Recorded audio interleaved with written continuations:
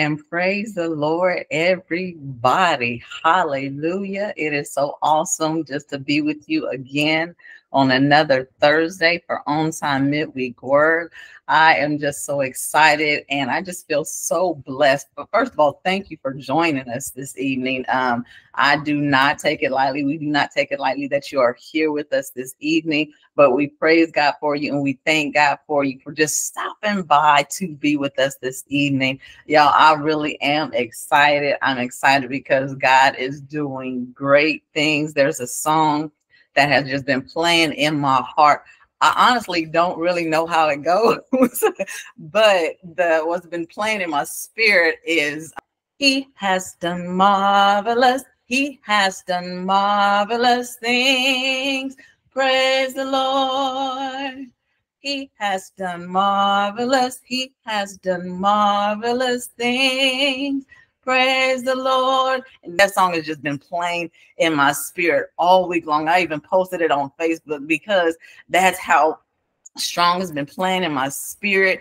And I just want to just share with you uh, briefly uh, just a, a, quick testimony of, I mean, God just does marvelous things. Um, I work for, uh, we make Enfamil baby formula. And God just, I'm a cry. It was um January 9th that um, our warehouse where you know all of our stuff comes in you know it was destroyed by a tornado. So we i mean we're not able to manufacture. So you know the site is on shutdown. And so normally like if a site is on shutdown like that we have no work. You know production cannot go you know people are just sitting around you know twiddling their fingers because we have nothing to do. But normally uh, so what they would do is just you know either let people go you know they lose their jobs. But what god did was he is so he does so he does some marvelous things. He's such an awesome god. But what god did was everybody was able to keep their jobs. When i tell you we have no work we have no work. But when i tell you god is a marvelous god I mean, God, He calls people just to brainstorm and you know there's different things that we're you know working together to do. And then even my manager he's like i want you to be the program manager over this you know so we can get these things done. So something that you know i what because people even was coming to me you know and i just kept hearing uh people say uh we, we don't know what's gonna happen. We're we're done. We're done. And i was like no we're not no, we're not. Don't say that. We're not done. You don't know what God is going to do. I'm not worried about it. And I wasn't. I was not worried because I knew God was going to do something. So I just want to share that with you because God, He is so faithful. And what people thought, you know, they were going to lose, God still blessed them. God still kept them. And we still have our jobs. Amen. And so um, I think we start back up. Uh, I think August, but there's still so much to do. So God is just so faithful. Amen. He is so faithful. So I just want to encourage you, you know, in spite of what it looks like, in spite of how it seen, in spite of what people are saying, in spite of just what you're seeing with your natural life, trust God. Trust God. Amen. He does marvelous things. Amen. Well, I just want to share that with you. And right now, let me just say this I am Don North. I went ahead of myself. I'm Don North here with my husband, Apostle Latron North of Bethel Worship Assembly here in Evansville, Indiana. And we greet you in the name of our Lord and Savior, Jesus Christ. And again, thank you so much for stopping by. And I'm going to say a, a quick, uh, short prayer, and Apostle North is going to take over. So, Father, in the name of Jesus, we bless you. We praise you. We thank you. And we just honor you, God, for who you are. Lord, you do wonderful things. You do marvelous things, God. Lord, you do the things, God, that we don't even expect, God. You are an on time and faithful, God. And so, Lord, we just honor you, Lord, this evening. We thank you, God, Lord, for everyone, oh God, that's on, oh God, Lord, this midweek word. Lord, you know their hearts. You know their situations. You know exactly what they are in need of, oh God. So we pray now, Lord, that you feed our souls, Father God. Lord, you use, oh God, Lord Apostle North, God, to bring your word forth, oh God, as you would have it to come forth, God. None of him, but all of you, Father, in the name of Jesus. God, no, we just bless you, we praise you, and we honor you in it all and through it all. In Jesus' mighty name, amen. Amen and amen. Wow, what an awesome testimony. God is a provider. He he knows how to continue being who he is, and that's being God. We can't outplan God, can't outthink God, cannot outstrategize God. He is, is an awesome God. He is doing marvelous things. And I just proclaim that in your life, that God is up to something good in your life. He is doing something marvelous, something wonderful, something fantastic, something awesome in your life. You may not see, you may not understand, it may not even look like it, but God is always behind the scenes working it out, preparing it out for your good. He's making the pathway clear in some areas of our lives. Amen. So we greet you again in the name of our Lord and Savior Jesus Christ, as my wife has already done so beautifully. So we thank you for joining us and, and uh, as she opened us up with a wonderful prayer as well. And so we're going to now go into our our giving and we're going to do our giving confession. And after our giving confession, I'm going to turn this back over uh, to my wife so she can finish up some announcements. So we thank you all that continues to support us and partner with us and pray for us through uh, many ways, through, like I said, through prayer, um, encouraging us, and also uh, giving to this ministry, supporting us with your giving, of giving of worship. We thank you so, so much. Our, you see our Cash App, our Venmo, our Zelle, and our mailing address. That mailing address is Bethel Worship Assembly, 2616 Thornhill Drive, Evansville, Indiana, 47725. So we have Zelle as well and that Zelle is uh, attached to our email at bwaebv at bethelworshipsummit.org. Of course, our Cash App and our Venmo, you see it there. It is the same. Amen. So let's do our declaration over our giving on tonight. And then I will pray over our giving and then turn this back over to my wife.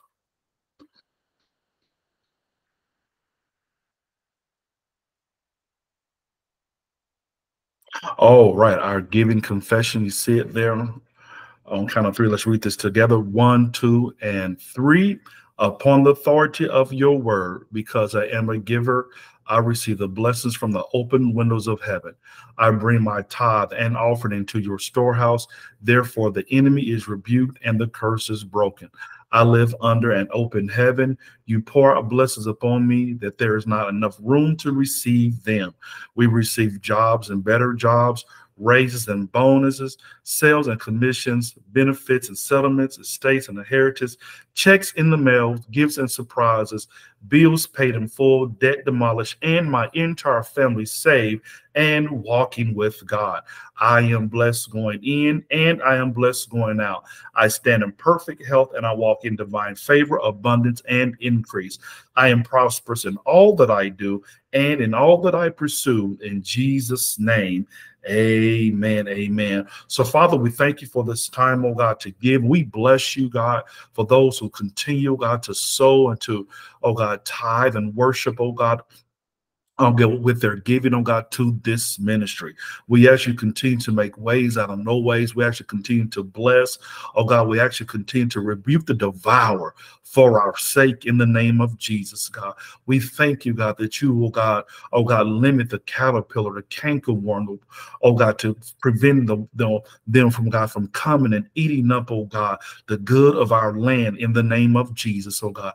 We thank you, God, for increase. We thank you, God, for preventing the God God, our substance, oh God, from being ate up and destroyed in the name of Jesus, oh God. We thank you, oh God, that you are the God of enough. You're a God of increase. You're a God of us, oh God, an endless supply in the name of Jesus. And God, every financial need, oh God, oh God, we thank you by faith, Father. We proclaim, oh God, it is met in the name of Jesus, oh God. Every bill paid, oh God. Gifts and surprises, oh God, found in the mail, oh God. Oh God, debt demolished, oh God. Oh God, favor, grace, oh God, to cause us, oh God, to, oh God, to get ahead and to be ahead, Father, in the name of Jesus. And we thank you, God, oh God, for this time, oh God, to oh God, to soul, God, either on, oh God, tonight or tomorrow, whatever uh, day, oh God, or whatever time, Father. But God, we continue to trust you in our finances and we continue to trust you as we, as we are worshipers in our giving. So, God, we thank you, God, we give you glory, honor, and praise in Jesus' name. Thank God and amen, amen, and amen.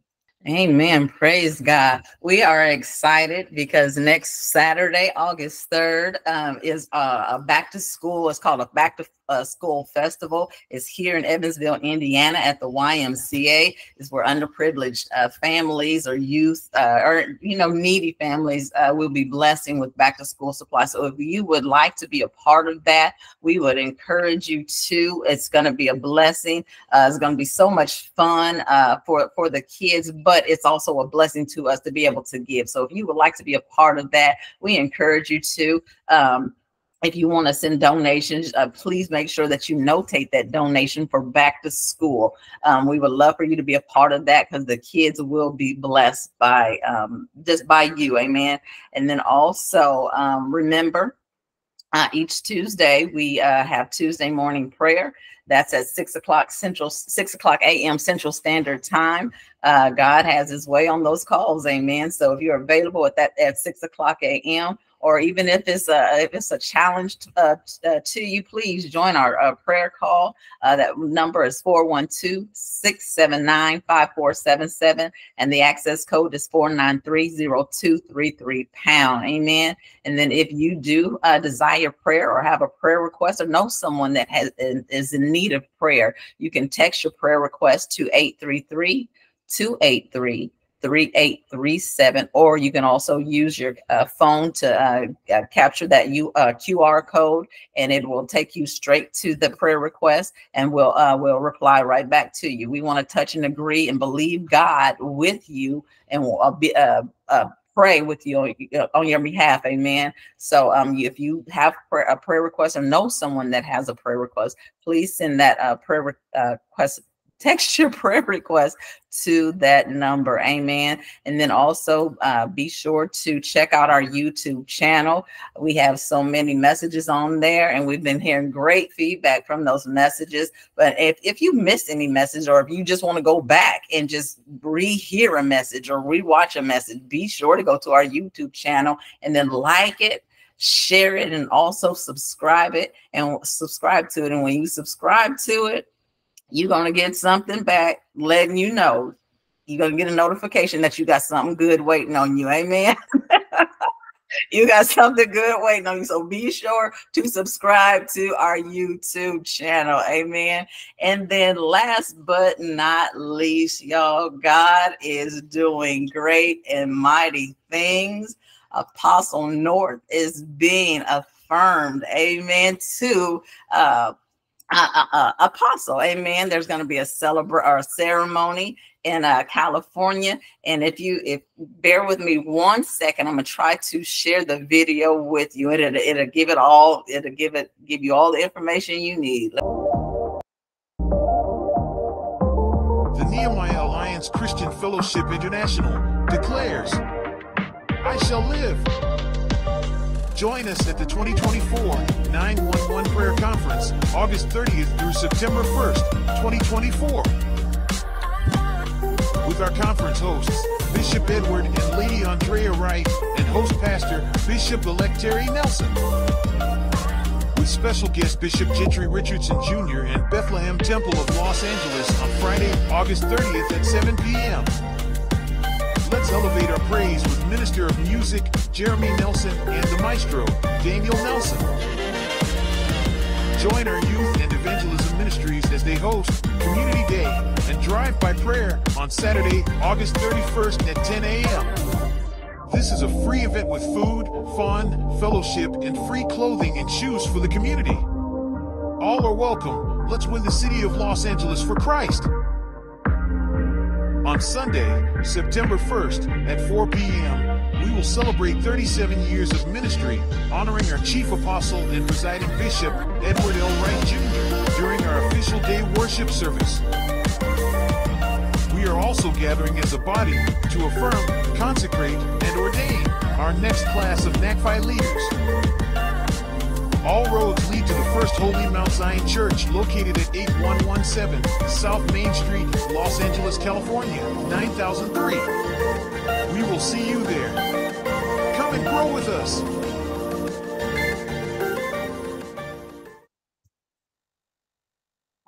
Praise the Lord. Hallelujah. Hallelujah. This is an awesome time. Amen. This is awesome, awesome, awesome. We know probably many of you will may not be there, but it's actually in California. Uh, we will be going. Uh, I'll be there. but you know, if you do happen to be there, we would love for you to be there and support us. Um, and also it will be live stream as well. So I'll be we'll be able to uh, be able to share that information with you when it does come. Amen. So right now I'm going to turn it over to Apostle North. Amen. Thank you so much for those wonderful announcements. And thank you all that um, I see some chats there in the uh, um, chat there saying uh, congratulations. Thank you. Thank you so much. Continue to pray with us and for us that we'll continue to build the kingdom of God.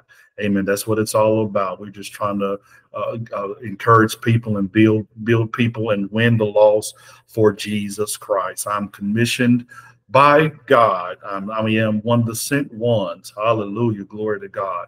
To do the will of the Lord and to spread the message and the good news of the gospel of Jesus Christ, his birth, death, and his resurrection. And he still heals, he still saves, he still delivers. That's what I proclaim.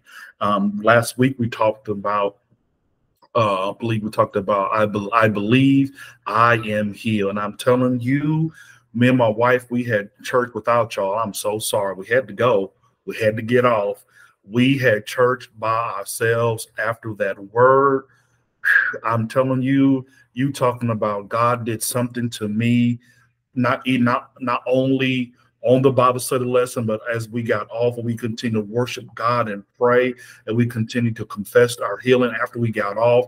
And man, God did some things, broke some things, restored some things, revived some things with me and uh, with me uh, concerning me and my wife you know, just healed us of some things. I'm just, whoa, glory to God.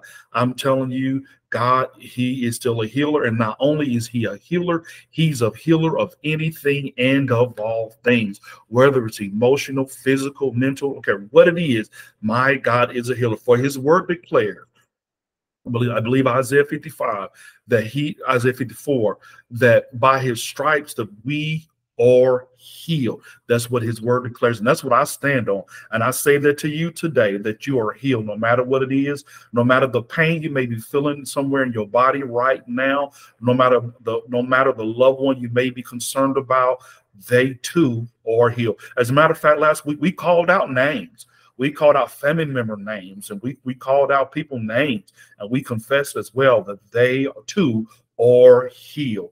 And so we we believe not some of the word, but we believe all of the word. James James 5, he said to call the elders of the church. He asked the question. He said, Is any sick among you? If so, call the elders of the church and then do what? Go get the oil. Woo! Hallelujah. Bless your name, Jesus. Oh, thank you. And I told I told people last week, go get your oil, no matter what it is. Uh, no matter what it is, if it's old if it's old chicken grease, old oh, fish grease, go get it. I mean, I, I mean, I'm just we just stretched out on we just stretched out on faith, and we went and grabbed some oil. Me and my wife, we grabbed some oil. We matter of fact, we got some more oil after we got off of here. I believe in operating in all the word of God. Jesus told them. Jesus told the lepers, he said, Go and show yourself to the priest. And the Bible says that when the lepers, as they went, they were healed as they went. We have to keep walking out the word of God. We have to keep walking in faith. For us, being the just, being the righteous, we live out By faith. And so I want to encourage you to continue to walk out the word of God and continue to walk this, continue to walk out this Christian life journey in faith and by faith. And as you go, Ooh, God's working some things out as you go. He's healing some things. As you continue to trust Him, be faithful. He's working out some things. He's healing some things, restoring some things as you go. But guess what? You got to keep going. You, got, you man, high five somebody. Say, I'm, I'm going. I'm still going. I got to keep going. We move forward in spite of. We believe the report of the Lord. Praise God. Praise God. We're going to jump in this word tonight. Not going to be too long. We had some some announcements that took a little bit of our time, so I'm just I'm just going to do a uh, kind of just scratch the surface here for this on this word tonight for this word on tonight, kind of maybe an intro introduction uh, to this word, and maybe prayerful I can get a little bit deeper with this word on on next week.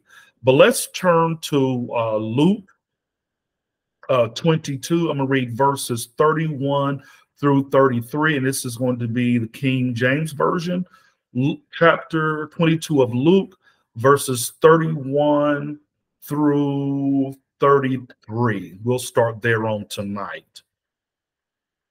All right. Starting with Luke 31, verse 31, the 22nd chapter. And the Lord said, Simon, Simon, behold, Satan hath desire to have you and to sift you as wheat. But I have prayed for thee that thy faith fail not. And when thou art converted, strengthen thy brother. And Peter said unto, unto him, Lord, I am I am ready to go with thee both into prison and to death. I'm gonna go back to verse 32.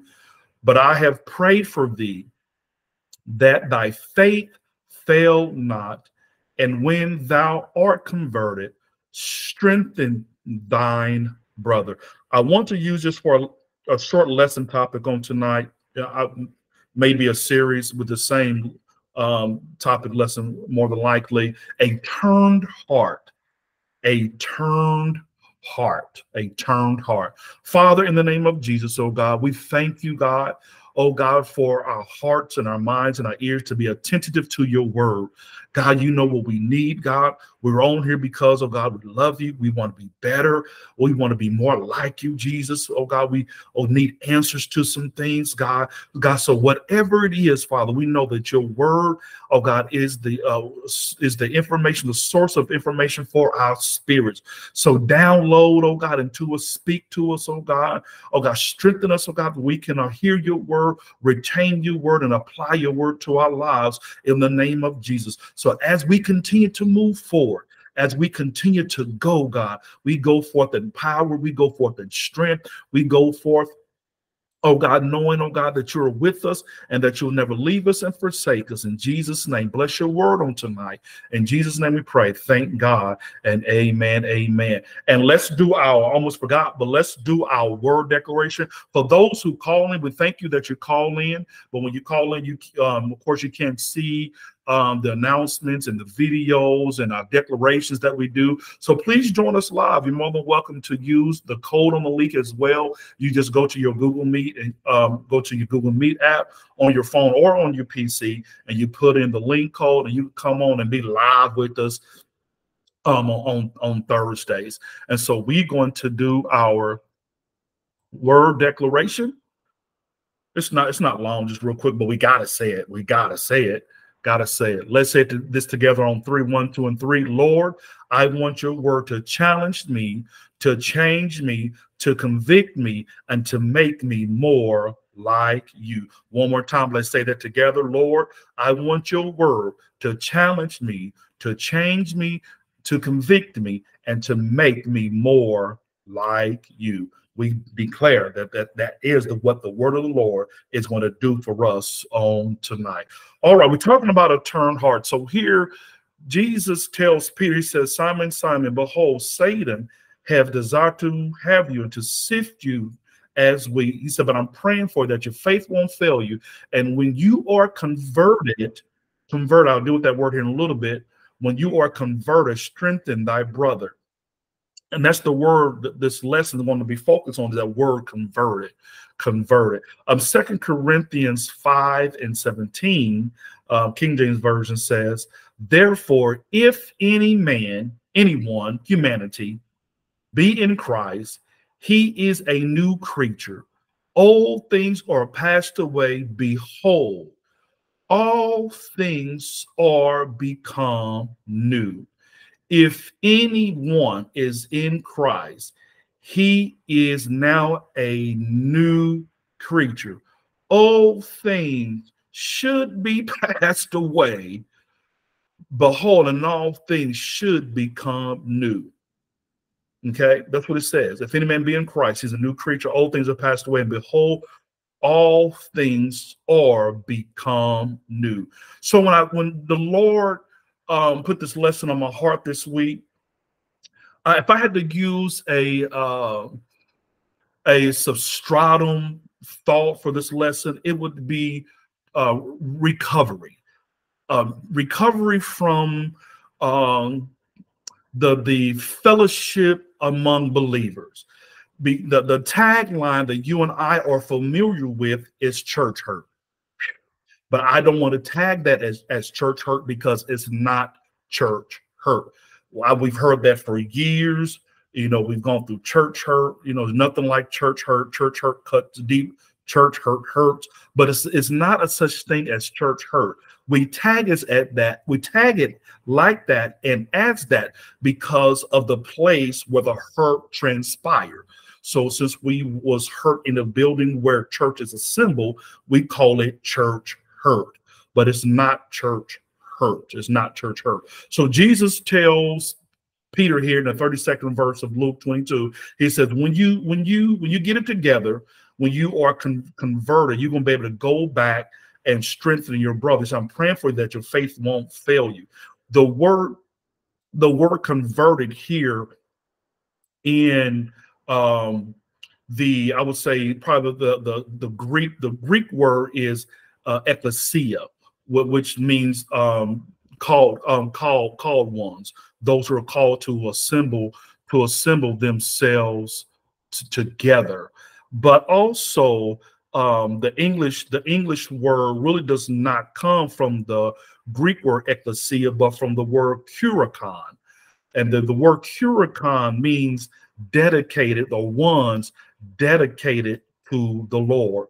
And also just the English definition translated from Greek, from, from the English word to the Greek word um, converted means to um, to to turn back, to return, to, to come back, or to turn back to one's um, self or or acknowledgement. So, in other words, Jesus is telling Peter that I'm praying for you that your faith don't fail you, but when you turn, but when you turn back, and when you are strengthened, you're going to be able to uh, strengthen your strengthen your brother and after you turn uh, back to me and so what what is what is jesus telling peter um, Peter here that once if your faith don't fail you, that uh, if your faith, I'm praying for that your faith don't fail you.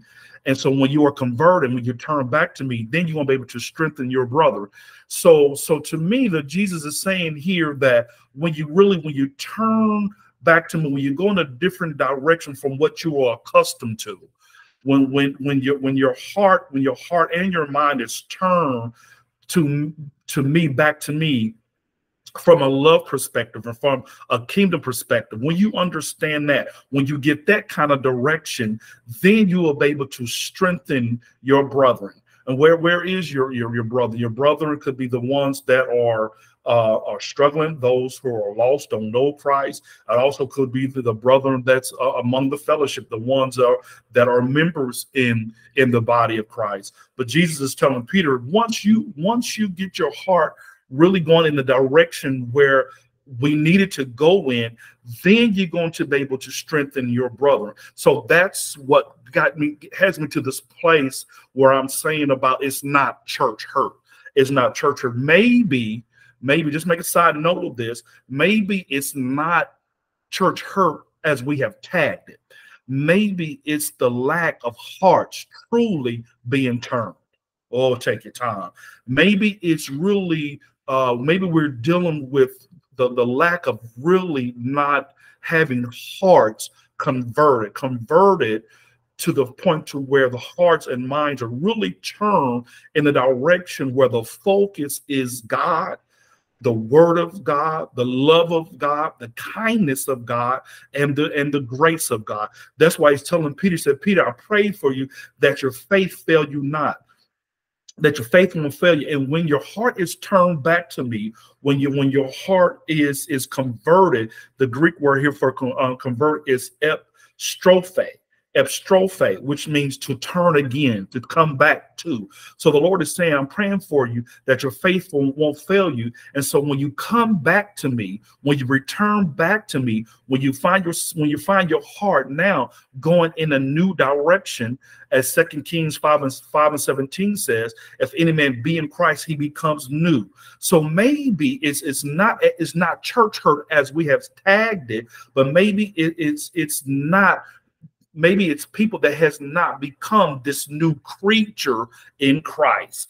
So, so I, I want to first try to de- demolish the tag of this church hurt because the church, the ecclesia, is, is, is not a church until people come together and gather in one place. When we assemble ourselves wherever, it could be at a mall, it, it could be in the street, it could be under a tent, it could be under the tin roof. When the people of God come together and assemble ourselves, that moment, that atmosphere, that place is now the church.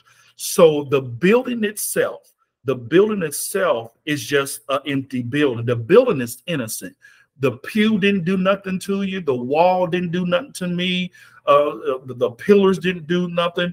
Uh, the, the, carpet, the chairs, the furniture, all that is innocent. And we blame the poor building. We blame the poor, the poor building for all of the distress and agony that we've gone through upon the empty building. The building itself is innocent but but it's when people come together and assemble ourselves that's when it becomes the church but even when we assemble ourselves as church, even even that assembly is still innocent because we tag it as church hurt. Like everybody who has come to assemble themselves to become the church has afflicted the pain. No, it's not everybody. It's it's it's it's, it's not everybody. Everybody hasn't afflicted us with pain. And let me tell you something about church Her Church hurt um, we as we as we tag a church hurt, it can be so um, so deep and so devastating that it will cause a person to decide within themselves that they will never step foot inside a church building again. But again, it's not church hurt. We have been afflicted by people. And maybe it's people that haven't been really truly converted. Maybe they haven't really adopted adopted this newness of Christ. Maybe their hearts really haven't turned all the way to God to go into another new direction. Because when your heart is prostrated before the Lord, when the love of God has really come upon you, when the love of God really lives in you, you have, we should have a godly right intention to mean all men well. Oh, glory to God. It's, it's nothing about a believer that should want to afflict any kind of pain or agony upon anyone, not the love of God, not the fruit of the Spirit. No, so when we become, when we become in Christ, we should be become this new creature to where now we are converted or have turned from our wicked ways. Oh Lord, where we where we turn back to God, where, where we deny ourselves and we truly follow him. And so we have to stop blaming the empty building because the Lord's the Lord's going to send a word over the next couple of weeks to cause people to start recovering from people that has hurt them in fellowships. You notice I didn't say church hurt. It's not the again the building is innocent, but it's is un maybe it's again maybe it's unconverted people or people who has not made a conscious decision that they're going to give all themselves to God and live for God wholeheartedly. Because let me tell you something, a person that is no longer convicted A person that cannot be convicted of their wrongdoing is a dangerous person a, a person that has a, a, a, a hypocritical spirit, a, a, spirit of hypocrisy, is, is a is a person that that can that is so distanced from the ability from being convicted, and that is a dangerous individual. So we can't blame the building, we can't blame the name of the church. We we we we have to know that it's it's a it's a people issue. Jesus excuse me, Jesus said, I want to find, I believe it's, um, uh, yeah, Ephesians 5. In Ephesians 5, verses uh, 25 to 27, I'll read King James Version. This is what Jesus said about his church. He said, Husbands, love your wives, even as Christ also loved the church and gave himself for it. Why? That it might be sanctified and cleansed and cleansed with the washing of the water by the word, that he might present it to himself a glorious church, not having spot or wrinkle or any such thing, but that it should be holy and without blemish. Husband, love your wives, how Christ loved the church, and he gave himself for it. Christ did not sacrifice himself give himself to die upon a roll old rugged cross, as brutal as he did, he did not die such a death like that for the church, for the church to inflict to inflict pain and agony and distress upon people. No, sir, no, ma'am. That is not the intent. That is not the design of the church. That is not the design on the mission or the purpose of the church. It is not. The church is not designed to hurt anyone. The church is not to, designed to damage anyone. And the church is not designed to destroy anyone. So, no, it's not a church issue. Maybe it's a heart issue. Oh, glory to hallelujah. Maybe it's a heart issue and it's not a church issue because again, the church, the church is a church. We come and assemble ourselves together. So some, the Lord told me something a long time ago. He put something in my heart dealing with this some, some time ago. He, he he said to me, people, all people has the potential to be dangerous. All of us all of us, all of us are not dangerous people. I'm not talking about the body of Christ, just people in general. All people has the potential to be dangerous. Why? Because we're in this flesh. We we are subject to fall and to fail and to mess up each and every day.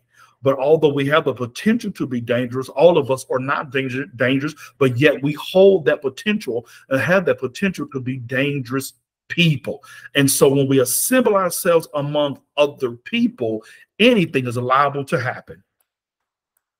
Anything is liable to take place. And so what happened is well, let me speak for myself, is is is when I be when I got saved and I, I knew church, the, the building was a place I needed to be.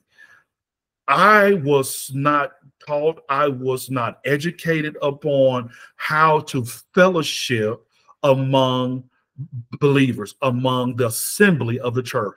Nobody told me what what you may see, what may happen, what may happen to you, what may be done when we when people are assembled together as a church. Because I thought, and you somebody on here too probably, I thought that the safest place that anybody could ever be is not only in the hands and the arms of God, but also among believers and and and, and it is not to say that it's not the best place or the safest one of the safest places to be for for as our spirit man to grow to connect with god and to learn of god and to worship god. Yes that is the place for all of that to happen. But but it does not come with, with, without with without being cognizant of some some your environment some things that can happen around you. And so we're not taught well i was not taught the possibilities of what could go on among people again not the church but among but among people because every day every day you and i We it's a decision that we make every day that we're going to live for Christ.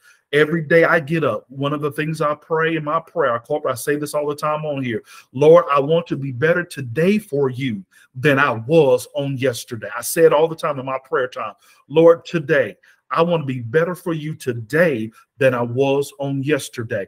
But everybody, everybody that attends an assembly doesn't have that attitude has not adopted to to has not adopted to become that new creature yes they people sing people people shout people uh usher people preach people sing on a choir people's on a praise team but yet their heart has truly have not been converted and that brings me to this point so that's why people experience the agony and affliction from from people because we're dealing with converted people and we're dealing with and we're dealing with not so converted people. And so what happens is we become people can become infected. The Lord showed me something. He said, when we assemble ourselves together as a church, two things two things happens. Either people is going to be infected by converted people, or people is going to be infected by unconverted people so so so so there's going to be infection so there's a there there's going to be something contagious and whatever is contagious is going to be caught by that person from the people that are converted or the people that's not converted and us that's trying to live right us that has really turned our hearts to god it's not to say that we're perfect it's not that I'm not saying that we got it right. I'm not saying us as holy, uh, living right, and fire baptized, and Holy Ghost filled that we're perfect. We are still imperfect people who still have the potential to do something dangerous, to be something dangerous, to fall and to fail we, we are because we're imperfect people. We're human first. And so just because we're saved, just because we know some scriptures, just because we've been saved for a while and we know the word, we can go in depth in the word. We're not exempt from falling. We're not exempt from messing up. We're not exempt from making mistakes. But when your heart is truly converted, when your heart is really turned towards God and the things of God, when your heart has been converted to become like the mind of Christ, when you adopt a kingdom mindset, that when we do fall and when we do make a mistake, mistake, and if we think we have offended anybody, we're quick to get it right. I, I am quick to repent, quick to ask for forgiveness. If I got to go back and get something right, fix something, apologize it, it, for anything or, or whatever it may be. Because why? I want to every day be in the right standing with God. Now that's my heart. That's where I am because I want my heart totally turned towards the Lord. And when I when when my heart and your heart is totally turned to the Lord, God Jesus told Peter when that happens, he said then the most important part of that passage of scripture there in Luke 22 is the word then. Jesus said, Peter, I'm praying for you that your faith don't fail you. But when your heart is really turned back to me, Jesus said, then then you will be able to go and strengthen your brother. So it's the word then that sticks out to me. Then, first of all, make sure you're where where you you where you are where you need to be in me. The the it, it's it's a plague that's going in the body of Christ where it, it's damaging believers that they hear one thing being said, preached, and done in the pulpit, but they hear or, or see a different lifestyle exemplified somewhere else. And so people, again, the people is like if I'm going to go through that, if I have to experience that, I'm better off just trying to have church by myself at home. And that is a trick of the enemy. That is a diversion. That's a diversion from from corporate worship. That's a diversion to to grow um, within the um, assembly of believers. That is a diversion. That's why Jesus said it in John 10 10, the enemy comes but to steal, kill, and to destroy. It is all of it is all a diversion. The enemy knows how to set up a, a, person or a piece or a piece here or a piece there to cause us to be distracted and diverted. He knows how to do it. But again, we was I was not taught, I was unaware of, of things that can transpire or happen when believers come together, when we assemble ourselves. And it's not that everybody's hypocritical. It's not that everybody has a jealous spirit. It's not that everybody um, has a spirit of gossip or backbiting. It's not, it's not that when we assemble ourselves that the whole entire assembly is uh is uh, infectious with uh, unconverted hearts. I'm not saying that, but what happens is the person or the people, a group of people that afflicts the distress or agony or pain or offends us or hurt us, it grabs our attention. It it grabs our attention. So now our focal point is is, is not the good, but the bad that happens the bad that happens. And so now we, we don't focus on the, the few people in the assembly that, that is trying to live right, the people that do have a converted heart. But see, now we've been hurt and offended. And so now that becomes our focal point.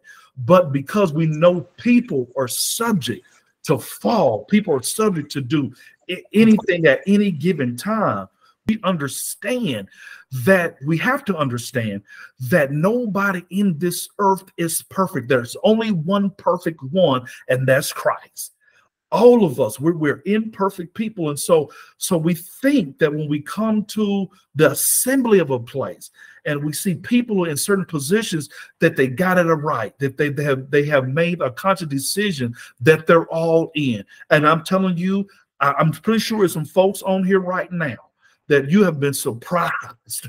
You have been surprised because uh, one of the things that happens is sometimes it's the person we least expect to afflict the pain. It's the person we least expect to find out that they're, they're not living what they're singing. They're not living what they're shouting. They're not living what they're teaching and preaching. And so that stings, that that hurts, especially when the hurt comes by somebody we least expect. We least expect. But our confidence has to always be in God and not in man not in man. So our focal point always have to be number one, Christ. And number two is, is our own personal growth. Because if, if anybody has experienced of being uh, afflicted by people in the assembly, because I got to get away from the tag church hurt. If anybody on here has been afflicted uh, by people in the assembly and the gathering of a church, don't don't count it against don't account it against the whole system of the church. Again, Jesus did not die for the church to afflict pain and agony upon anyone. So it's not the whole church. It's not the kingdom. It's not the whole system of the church that has hurt you. It's that one person or those two people or four people who has not figured it out yet Oh, thank you, Jesus. Who who has not uh, walked in the true heart of being converted? Because you cannot tell me that a true converted heart is going to have a, a, jealous spirit. A true converted heart is not going to lie on somebody. A true converted heart is not going to gossip and say all men are evil against people. A true converted heart is, is not going to, to control and, and bring and, and try to destroy people, destroy people's character, and to destroy people's lies by the word. Not a true heart, not a true heart, not perfect, but I'm just saying a true heart that is truly be, because if it wasn't possible for us to have a true heart turned to God, Jesus wouldn't have told Peter that. Jesus told Peter that when your heart is truly returned to me, when your heart and your mind lines up with mine, then you can go back and tell somebody uh, uh, about me when you return back to when you get this right for yourselves and so we have to be the one for for people that have experienced the affliction of pain through people who has assembled themselves together. And I know that's a long way to say it, but again, the building is innocent. We we have to recover. We've got to heal. Why? So we can go back to the assembly. Oh, thank you, Jesus. So we can go back to the assembly and we can be that light to, to tell somebody, to tell some young Christian, to, to tell some baby in Christ, to exemplify them, to show that that that the whole the all the assembly of the gathering of people is is is not unconverted people. Some folks among us is trying to live right, and we have to be the ones to show. I'm not saying I have all my I's dotted. I'm not saying I have all my T's crossed, but my heart I've given to God. If when I when I mess up, I, I try to hurry up and fix it. If I need to apologize, I try to hurry up and apologize. When I need to repent and ask for forgiveness, I try to hurry up and repent and ask for forgiveness. So somebody needs to see that what they see on the praise team, what they see at the door, when they see the greeters at the door, when they see the ushers, when they see ones worshiping, praising God, that the same folks they see on the inside is the same folks they can see and make contact with on the on the outside. The same people that greet them uh, and hug them inside the building is the same folks will meet them and greet them in Walmart. We, we need to exemplify the love of God, not just inside the building, but on the outside of the building. We have to stand out and let people know, yeah, there is some issues among the assembly, but I'm not a part of them. I'm not a part of not, not to say that I got it all right, but I'm here to tell you that my, I've given my heart to God to, to show you that I'm walking out, I'm trying my best each and every day to walk out the fruits of the spirit. So we can't charge the church. Oh God, we can't charge, we can't charge, we can't charge the building. We we can't we the again the empty building is innocent, but it's people who hearts they're struggling. They have maybe they haven't made again, maybe they haven't made that conscious decision to walk in the fullness of God. Because you cannot walk in the love of God, in the fullness of God, in the salvation of God, and not be convicted. It is no way. It, it is, is no way that you, your heart is really turned to God and you can keep talking about people and gossip about people and lying on people and never get convicted. No, there's something wrong with that. Uh-uh. Not, not, not a heart that's after God, not a kingdom heart, not, not, not a kingdom, not a kingdom mindset. Uh, it's absolutely no, no way. That word the word ecclesia that is translated into the word kuriakon, it means dedicated to the Lord. So people that comes assemble themselves, when we come assemble ourselves, there is a remnant of people that is dedicated to the Lord all the way.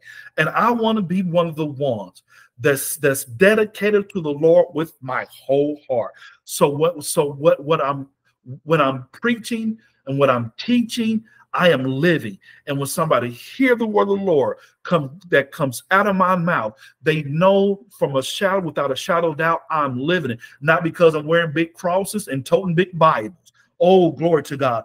But just a consistency of living that every time they see me and every time they see you, wherever you are, they see the example. Woo, you exemplify Christ. You exemplify his joy. You exemplify his peace. You exemplify his grace. There's no such thing as as a mean Christian. A lot of y'all, I know somebody gonna disagree me, disagree with me on that. Well, mean, mean, mean, mean Christians. No, that person just needs deliverance. That's all. And they need deliverance. They're a Christian, we just need deliverance from that attitude. Oh, we all got something that we're working on. We we're all striving to be better, but I just don't want to infect somebody with a with an unconverted heart if I'm going to be contagious, I'm going if I'm going to be infectious, I want to be infectious with the fruits of the spirit. I want to be infectious with the love of God, with the grace of God, uh, not in the suit and in, in, my vestments and in clergy gear, and not in, in the church, not in the building, not doing worship,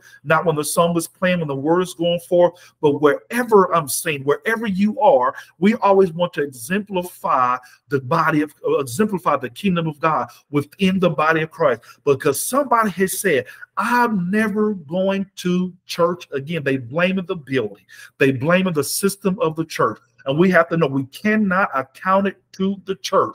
We have to account it to people struggling to have a converted heart. But here is the question Is your heart converted? Is your or you is your heart truly turned to God where you can safely say that you that you will not cannot afflict any pain purposely upon anybody. We're not going to go to church, shout and have a good time, and then be, be in a corner parking lot uh, gossiping about people and causing a mockery and, and grief upon uh, people because because of our uh, disposition, uh, our judgment of who we think they are. Oh, good God, I'm, I'm telling you, I've been there and done. It's nothing anybody can tell me that they have experienced in church that I have not experienced and gone through. You talking about afflicted by people in, a, in assembly, uh, in the assembly of the church. You, you talk. You, I don't have time. I don't have time to, to tell you uh, my testimony of the things I've experienced by the way of uh, assemblies. I, I, don't have it, but I know I'm not the only one. It's some on here right now, in the sound of my weak voice. You have experienced yourself the agony of others by the way of the of the gathering of, of believers, of believers. But but but again, I, we I didn't know that that was a possibility that could ever happen. But this is but this is the revelation God wants us to get tonight. It's unconverted hearts. And what do we? Jesus said, "Pray for your enemies." Pray for those who, who despitefully use you and say all men are evil against you. We now that we're now that we're seasoned and becoming older, now we need to take the young babes in Christ and those who come to our fellowships and they get saved and they on fire to for the Lord. We have to have some sidebar conversations with them. We have to we have to educate them. We have to let let them know we we're so glad that you're saved and the angels in heaven are rejoicing that you're giving your life to Christ. But but I want to help you protect your faith. I want you to help. I want to help protect the fire that you have. I had nobody to help me to protect the fire. Oh, thank you, Jesus. I had nobody to help me and educate me to protect the fire that I once had. It's a word that I learned in seminary called anthropology. Anthropology is the study of, of society and, and and and the study of society talks about the different characteristics of, of people that we can encounter in our societies in our neighborhoods in our cities in our counties in our in our towns because we because we're dealing with um, a general society. And when you're dealing with society you're dealing with people. And guess what? People comes from all kind of places all kind of backgrounds or from different from different cities from different countries. You know so so our society is made up from different people. And guess what? When we assemble ourselves together when we come to when we assemble ourselves together to to uh, to comprise of the church guess what? That's a society. And that is a society that's made up of all kind of people made up of all kind of people. People that's trying to live right uh, people that's, that's that's faking it. Uh, people that really people there spectators people people assemble themselves for church for all kind of reasons. This i did not know. People come to church you know for, for all kind of reasons just to see what somebody got on just just to just to see how the the guest preacher gonna do today, or just to see how the, the, the new minister that just got ordained to elder how he gonna do today. So so it's so many different reasons and attitude that people assemble themselves to to the assembly of the church that makes up the uh, that makes up a, a society. So this I did not know. I did not know that these things could could happen among the assembly. But but when we know when we find out that this is a potential that we have to tell somebody else. And so we can't again we can't charge it to the building. We have to charge it to maybe hearts just not truly being converted. But we you and i we have to make sure that our hearts are truly converted to the point that we do not cause anybody in our assemblies any discomfort any grief, any agony, any pain, everything that I experienced by the way of affliction and hurt through, through people in the assembly, I told this is my vow to God. I will not, I will never be the corporate, be the one to cause anybody any pain, any grief through the way of church, through the way of ministry. No, it, no, it's. It cuts too deep. The, the way I've been treated, the what's been done to me, I will never do it to anybody else. I, it took me years to recover. It, it, it takes time to recover from such from from such deep stabs. It, it, it, does, and so I am not going to ever be the one to cause anybody any any pain or agony or found uh, uh, doing something to to cause somebody um, grief and discomfort in their spiritual walk with Christ. No, so I want to be, and I hope this word is challenging you too as well, that you should want to be that one to say, Hey, I had to recover from some stuff. I had to forgive some people. Some people cut me deep and, and hurt me deep, but it was some things I wasn't aware. I blamed it as church hurt, but I realized it wasn't church hurt. It's just people still trying to find their way. Oh, glory to God. It's some people still trying to figure it out. They still, they're still struggling, trying to tap into true, to tap into tap into the true love of God, the true conviction of the Holy Spirit hadn't hit them yet because we gotta we gotta look at this from the perspective of grace. We all need grace. How how was your life before you really came into Christ? What did you do? Who did you who did you talk about? Who did you lie on? When, when before before Christ came into your life, who did you hurt? You offended you offended somebody. And, and so until we come into this place of real conversion, again we're subject and liable to to be damaging to people so you know hurt people i gotta finish this up you know hurt people hurts people Woo! and unconverted people will hurt almost anybody almost anybody because conviction hasn't came into their heart and so now they, they're they're they're they don't have a heart of flesh but a heart of stone. And so they allow they are liable to do and say anything about anybody about any given time. But what do we do? We pray for them we pray for them but secondly also we become the ones who help restore.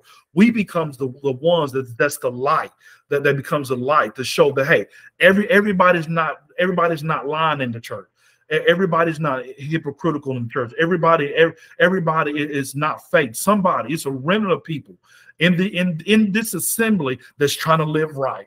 Not perfect, but trying to live right. And I just want to be one of the ones, hallelujah, that lift my hands and say, that can say, No, I confess I'm not perfect, make mistakes every other day, if not every day but my, but my heart is so turned to the Lord that I mean to do right by everybody, the right to the to the ones that saved, unsaved, the converted, unconverted, those who's trying to figure it out, those who don't have no desire to figure it out. I want to be because because eh, every day we want to exemplify and represent Christ to the best of our ability. So you that's on here, if you ever have experienced agony and affliction through the through uh, uh, some people or through a person by the way the assembly and our, assembling ourselves together to become the church. I, I, pray that you have recovered or that you are recovering. Don't we cannot allow the enemy to, to, to afflict people so bad that they stay away from the house of God because that's his goal. It's a setup. Again, it's a diversion to keep us from assembling ourselves in the house of God.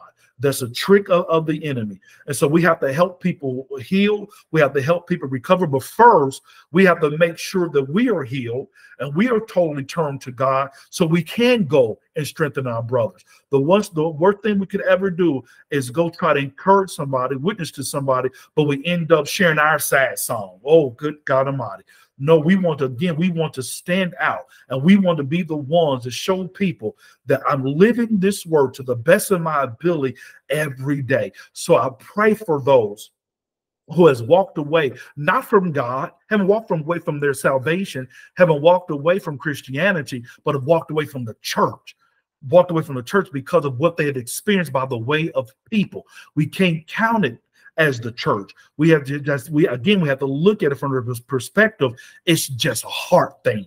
It's a mind thing. Let this let our minds our minds our minds has to be like christ let this mind be within us which was also what in Christ Jesus. We have to be transformed by the renewing of our attitudes and by the renewing of our minds so we can go and strengthen our brother. So we can go and strengthen the one that's been hurt. So we can go and strengthen the one that's been damaged. So we can find the one that say, I will never go to church again. And we can have this conversation to them, baby, you are blaming the church. The church itself is not at fault. It was a few people that just didn't, just don't have it figured out. I'm gonna say this, and I'm gonna let God's people go. One of the things that that saved my Christian journey with God, when I say it that way, one of the things that saved me in ministry, one of the things that that helped me uh, continue in ministry was uh, uh a, a, a, young lady in a, in a church um, years ago. She came to me and told me, she said, "You know, everybody does not take the Christianity seriously." That blew me away that blew that blew my mind she said everybody does not take their christianity seriously everybody does not take their christianity seriously enough to love to forgive to to to, to extend grace and kindness. Every, everybody's not don't take their Christianity seriously seriously enough where they don't allow a jealousy, an offense to come upon them. And so that let me know right then and there that if people don't take their Christianity seriously, that they're prone to operate in their flesh. Because if we don't walk in the spirit, we will fulfill the lust of this flesh. And this flesh wants to be entertained. This flesh wants this flesh wants to be gratified. And some people gratification is gossip. Some grat- people gratification is backbiting. Some gratification of people is jealousy. And so if we don't walk in the spirit, we'll find ourselves doing these things. So we have to take our Christianity so seriously that we're totally converted.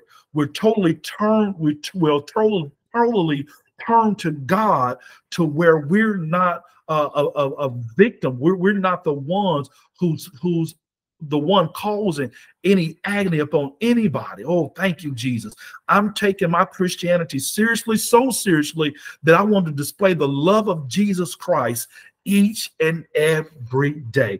So I so I pray I, again. I pray that you anyone had experienced uh, again this this this this type of hurt, this hurt that cuts so deep. I pray that you have recovered, and if you are recovering, I say recover recover. And so you can go and be used by God. So you can go and you can have fellowship among the brother. It's easy to go to, ch- to go to church and be comfortable and not, and not speak to nobody. It's easy to go and get what you need and, and go about your business, go about your business and not display the love of Christ. Oh, that's not easy, but that's not God. That that's that, that's not kingdom, and that's where the enemy wants us, where we isolated where we can become selfish and self-righteousness, where we're just all up to stuck in ourselves because of our past experiences. Our past experience keeps us from, from progressing forward and people needs to hear from you. People need to see your love of jesus. People need to see your smiling face. People need to see your joy. People need to see that the word that you read and your prayer life and you going to church and praising and worshiping god they need to see is authentic not only in the building but outside the building. In the name of Jesus.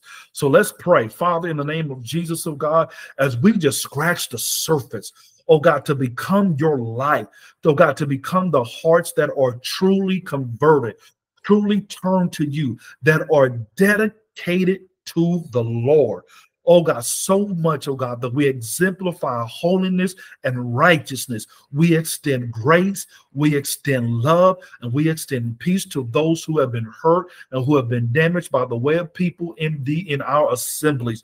The building is innocent. It's not the church, the system of church. It's God, it's those who are struggling to find their way, those who are struggling, who heart is truly has not totally, God, been submitted to you, and who has not turned to you wholeheartedly.